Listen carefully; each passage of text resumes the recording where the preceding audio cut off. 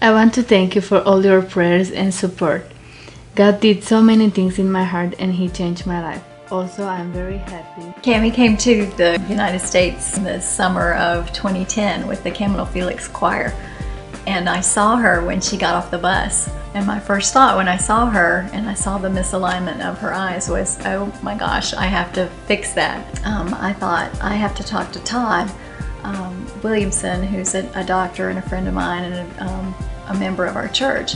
You know, I just thought that we could do this all in one week, you know, and then Todd said, wait a minute, you know, this is going to take a long time. This, this, this could take us a year. You know, she needs to get a visa. We need to raise money. We need to, she needs to come with a chaperone.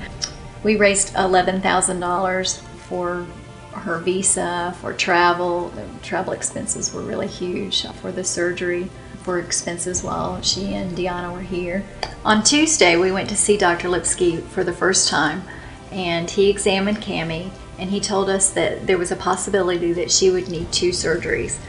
Um, and I was really nervous about that, and I told Dr. Lipsky that we really barely had enough money for one surgery, and he told us not to worry about that and that he had contacted the Children's Hospital and asked them to take Camy's case on as a charity case.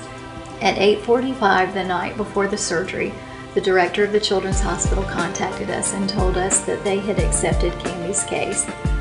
And she told us that there would be no charge, that when they accepted a, a, a case for charity, that there were no costs.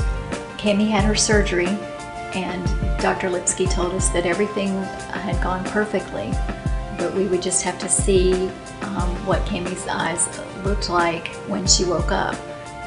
At 8 o'clock that night, she opened her eyes and she looked in the mirror for the first time. You know, there are, there are some um, things in your life that you know that when you experience them, you will never forget.